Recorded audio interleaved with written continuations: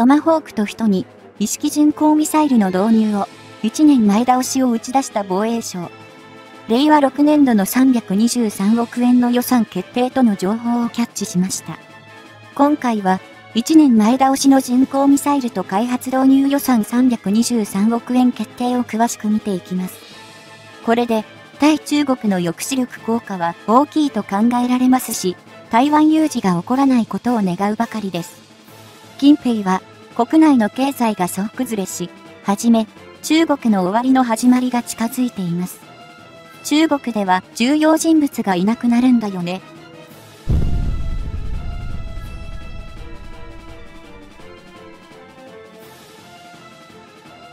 令和6年度防衛予算案の概要が12月22日発表され、その中には長距離巡航ミサイルである新地対艦地対地精密誘導弾の開発予算として323億円の巨額が計上されました。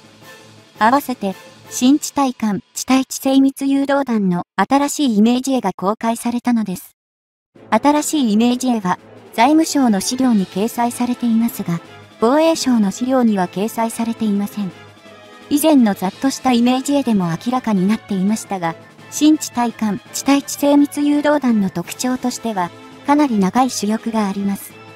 他国の音速巡航ミサイルと比べても、非常に長いと言えましょう。以前の長距離巡航ミサイル開発計画による当初防衛用新対艦誘導弾のイメージへと比較しても、新地対艦地対地精密誘導弾の主翼の長さが際立っています。長さとしては倍くらいに思えます。これほど長い主翼はどう折りたたむことになるのか、現時点では構造が全然わかりません。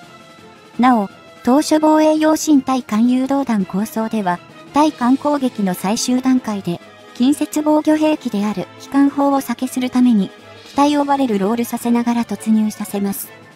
新地対艦地対地精密誘導弾構想にも、この機動性は引き継がれるのでしょうか。バレルロールとは、横転、ロールと機種上げ、ピッチアップを同時に行い、仮想の垂れの銅、バレルをなぞるように螺旋を描いていくことから、その名になったそうです。令和6年度防衛予算案の概要の中には、極、超音速兵器迎撃用滑空段階迎撃用誘導弾 GPI の日本とアメリカの共同開発予算として、これまた、巨額の757億円が計上されています。財務省と防衛省の資料には、イメージ図としてアメリカミサイル防衛庁 MDA ミサイルディフェンスエージェンシーから提供された GPI のイラストが掲載されています。日本では公開されたのに、アメリカ本国の MDA 公式サイトにはまだ未掲載ということです。変な感じを受けるのは筆者だけでしょうか。GPI はイージス艦マーク 41VLS に搭載可能な大きさで設計されるようです。つまり、SM3 ブロック 2A 迎撃ミサイルと同じくらいの大きさになると推定されているのです。では、GPI と SM3 ブロック 2A をイメージ図で比較してみますね。長さを揃えましたが、あくまでもイメージ図ですから、本当は揃うはずの直径が揃っていません。ブースターはおそらくマーク72で共通部品。サステナーのソーダ翼もイメージ図ではよく似ています。そして GPI の特徴としては以下のようになります。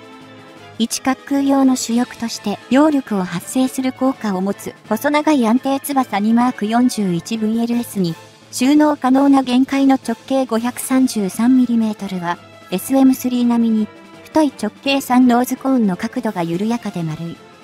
最も興味深いのはノーズコーンの形状でしょう。迎撃ミサイルにはあまり見ない緩やかな角度で丸い形状をしています。かといって、先端がショックコーンで空気吸入式推進方式でもないようです。終末誘導用シーカーは多分赤外線画像方式になると思われますが、このイメージ図だけではどういう構造になるのか全くわかりません。コーンとはミサイルの先頭部分のことです。ノーズコーンはなだらかな曲線で、ショックコーンは鋭く尖った形をしています。あくまでイメージ図ですから、その絵の通りに登場するとは思えませんが、2020年の GPI 初期のイメージ図が他度、終末高高度防衛ミサイルの迎撃隊に操舵翼をつけたような鋭い円錐形だったのに比べると、2021年、2023年のイメージ図は、形状が大きく変化しています。ここで、令和6年度予算の内訳について見ていきましょう。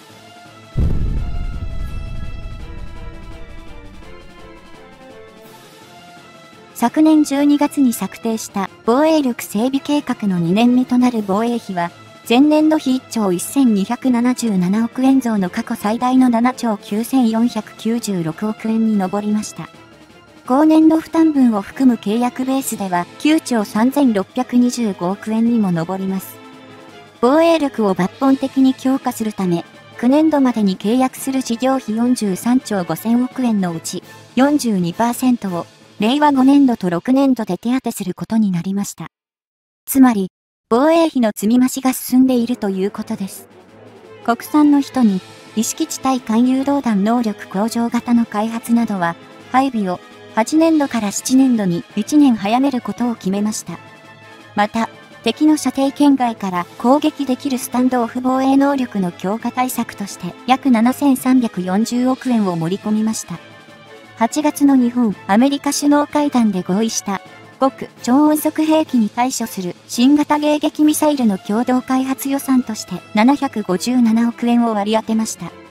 地上配備型迎撃システムである。イージス・アショアは数年前、日本の各地で配備を進める動きがありましたが、当時の菅首相の地元秋田で地盤の問題があることが発覚し、一気に配備の動きが衰退したことを覚えている方もいらっしゃるでしょう。そのイージス・アショアの代替として新たに建造されるのが、イージスシステム搭載艦2隻です。その整備に3731億円を充て、6年度から建造に着手し、令和9年度、10年度に1隻ずつ収益させることを目指すそうです。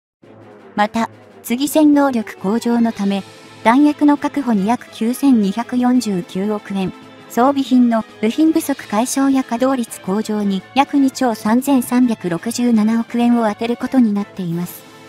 円安や物価高の影響で装備品単価も上昇しています。輸送ヘリコプター CH47 を17機購入するため、計3088億円を計上しましたが、自衛隊保有の中古部品を活用することなどによって単価を下げることができたそうです。一方、外務省は令和6年度予算案に、情報戦への対応能力強化に関する経費を、前年度から大幅に増額して計上しました。偽情報をめぐるモニタリングや対外発信を強化、分析などには、AI 人工知能を活用。同省関係の予算案総額はデジタル庁所管分を含むと、前年度当初予算費28億円増の7417億円になりました。また、ロシアがウクライナ侵略を継続し、中国が軍事、経済分野で圧力を強めていることを念頭に、法の支配に基づく自由で開かれた国際秩序の維持、強化のためとして1754億円を計上した。このうち、同志国の軍などに防衛装備品を提供する無償資金協力の制度、政府安全保障能力強化支援 OSA の予算は5年度比で2.5倍の50億円を計上。経済的威圧への対応に関連する経費も前年度から倍増させ、4000万円を計上しました。